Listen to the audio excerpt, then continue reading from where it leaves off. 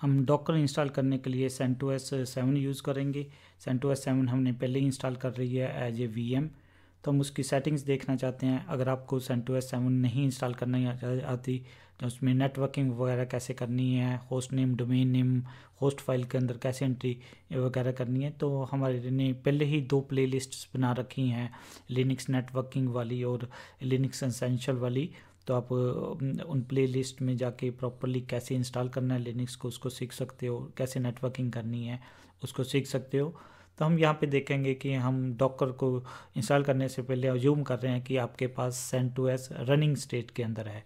तो हम देखते हैं कि हमारी सेंट टू एस पे हमने क्या क्या सेटिंग्स कर रखी हैं। तो हमने दो जी बी रैम दे रखी है hard disk forty G B दे रखी है और हमने नेटवर्क अडेप्टर नेट सेट कर रखा है। नेट अडेप्टर सेट करने से क्या होता है कि ए, अगर आपके होस्ट ऑपरेटिंग सिस्टम में इंटरनेट चल रहा है तो आपके गेस्ट ऑपरेटिंग सिस्टम हमारे केस में जो ये CentOS seven V M है वो गेस्ट ऑपरेटिंग सिस्टम है तो उसमें भी नेट चलेगा। अब जैसे मेरे केस में जो होस्ट ऑपरेटिंग सिस्टम है विंडो टेन है तो वहाँ पे इंटरनेट चल रहा है तो यहाँ पे भी अगर नेट ऑप्शन सेट कर दी तो ये यहाँ पे भी मेरा नेट चलेगा। तो फिर बाद में हम देखना चाहते हैं कि इसका आई पी ड्रेस क्या है। हम आई पी ड्रेस को आई पी एस कमांड के साथ चेक कर सकते हैं।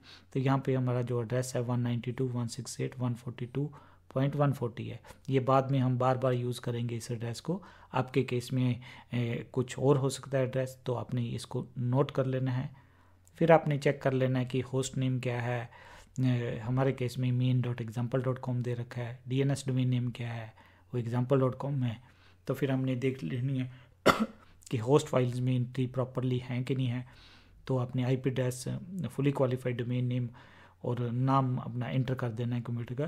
तो ये सारी सेटिंग्स हमने जो हमारी प्ले लिस्ट है, उसमें एक्सप्लेन किया हुआ है कि क्यों हमने ये किया हुआ है और कैसे, क्या रिक्वायरमेंट है, किस ढंग से आपने एंट्री करनी है, वो सारा कुछ एक्सप्लेन किया हुआ है। तो अगर आपने आई पी एड्रेस को कुछ चेंजेस वगैरह करनी है तो आप इसकी कन्फिग्रेशन फ़ाइल में जा सकते हो। कन्फिग्रेशन फ़ाइल हमारी E T C sys config network script if C F G E N S three thirty three के नाम से होती है। तो यहाँ पे आप ध्यान से देखोगे तो बूट प्रोटोकॉल क्या है? डी एस सी पी तो वहाँ पे हमने नेटवर्क अडेप्टर पे नेट सेट कर रखा है। तो यहाँ पे जो आपकी सेटिंग होनी चाहिए डी एस सी पी उससे क्या हो जाता है कि ऑटोमेटिकली आपको एक एड्रेस ऑबटेन हो जाता है और आपका नेट चलेगा। और फिर आपने कुछ हमें रिक्वायर्ड पैकेज हैं जो बार बार हमें ज़रूरत पड़ेगी बाद में तो वो इंस्टॉल कर लेने हैं। किस कमांड से? Yum install Q mean quiet mode में ई लिंक्स कर लाइनिक्स ये तीनों कमांड लाइन ब्राउज़र हैं। फिर हमारे पास डब्ल्यू गेट है, वो डाउनलोड चीज़ें करने के काम आता है। जिट वर्जन कंट्रोल सिस्टम है। ट्री को हम बाद में देखेंगे, काफ़ी यूज़फुल पैकेज है। फिर एक हमारे पास टेलनेट है तो इनको इंस्टॉल कर लेना है। अगर ये इनमें से कुछ पैकेज पहले ही इंस्टॉल हो जाएँगे तो आपको मैसेज दिया हो, दे देगा कि ऑलरेडी इंस्टॉल अगर कुछ रहते हैं तो वो उसको वो इंस्टॉल कर देगा। तो अपनी कन्फर्मेशन के लिए यस कर देना है। तो अपने वेरीफाई करने के लिए आप R P M minus query command भी चला सकते हो। ई लिंक्स का लाइनिक्स पैकेज आपके इंस्टॉल हैं कि नहीं? तो यहाँ पे शो कर रहा है कि वो इंस्टॉल हैं।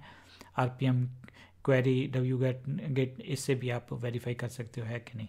तो हमारे केस में जो हमारी वर्चुअल मशीन है, हम चेक कर लेते हैं कि भाई आई पी एड्रेस क्या है? तो I P A S command से हमें क्या पता लग जाता है? तो हमारा जो एड्रेस है one ninety two one six eight one forty two one forty है।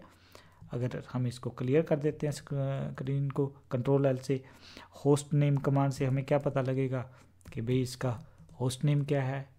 डीएनएस डोमेन नेम से हमें पता लगेगा कि भाई ये इसका डोमेन नेम क्या है? और कैट एक्स्ट्रा होस्ट फ़ाइल से हम इसकी एंट्रीज देख सकते हैं। तो हम पहले देख रहे हैं कि हमारी मशीन किस टाइप की हमने सेट की है। तो ये भी एंट्री प्रॉपर है। और जो हमारी एक नेटवर्किंग की फ़ाइल रहती है, उसको भी चेक कर लेते हैं। वो कहाँ पे पड़ी हुई है? Sys config network scripts if C F G E N S ये वाली फ़ाइल है हमारे पास। तो यहाँ पे हम देख रहे हैं कि सेटिंग ये वाली है। और फिर हम वेरीफाई कर लेते हैं पैकेजेस वगैरह R P M minus query elinks आप इंडिविजुअल इंडिविजुअल भी वेरीफाई कर सकते हो। या आप इकट्ठा भी स्पेसिफाई कर सकते हो कि भाई कर्ल है कि नहीं? लाइनिक्स पैकेज है कि नहीं? ये आपका डब्ल्यू गेट तो ये सारे पैकेज हमारे केस में वो सारे इंस्टॉल हैं। टेलनेट भी इंस्टॉल है। ट्री भी इंस्टॉल है। तो जो भी हमें पैकेज चाहिए थे, आपने एक चीज़ और चेक कर लेनी है कि भी इंटरनेट कनेक्टिविटी है कि नहीं? वो कैसे आप गूगल को पिंग करके देख लीजिए कि हमारा नेट चल रहा है कि नहीं चल रहा। वो भी बहुत ज़रूरी है। तो हमारा नेट भी चल रहा है तो कंट्रोल से इसे आपने कैंसिल कर देना है। क्योंकि हमें जो इंस्टॉल करने के लिए क्या चाहिए होगा? इंटरनेट चाहिए होगा। तो हमारे पास ये मशीन बिल्कुल प्रॉपरली वीएम रेडी है। अब हम इंस्टॉल करने के लिए अब हम डॉकर को इंस्टॉल कर सकते हैं।